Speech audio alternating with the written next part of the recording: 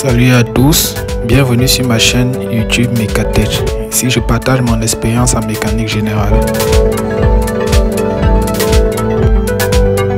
Si vous êtes nouveau, abonnez-vous, activez la cloche de notification pour ne pas manquer les prochaines vidéos. Merci.